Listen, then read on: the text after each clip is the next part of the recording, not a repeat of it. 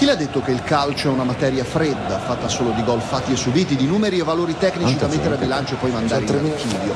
Succede invece che per il secondo anno consecutivo sia uno 0-0 ottenuto in terra veneta a mandare lo Spezia in paradiso ai tifosi aquilotti in delirio.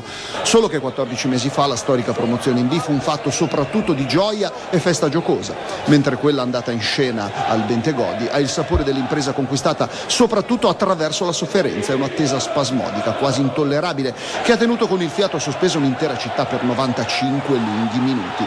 Alla fine però è stata festa, con i 3.000 spezzini della curva nord a stringere squadra, tecnico e presidente in un abbraccio convulso che ha potuto finalmente sciogliere tensione e veleni di un finale di campionato al cardiopalma. Due mesi e mezzo vissuti pericolosamente, ma conclusi raccogliendo i frutti di una voglia assoluta, quella di non lasciarsi sfuggire la Serie B.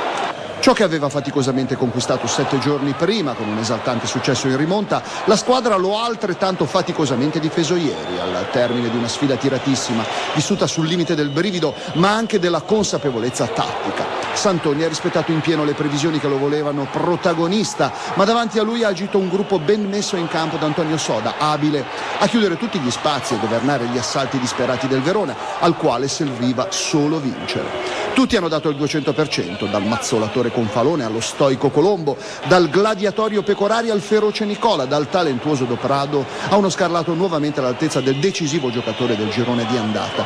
Senza poter dimenticare tutti gli altri, Saverino, Guzman, Paolino Ponzo, Capitan Fusco, Varricchio, mentre Super Max Guidetti ha sofferto e poi gioito in panchina. Umiltà ed edizione.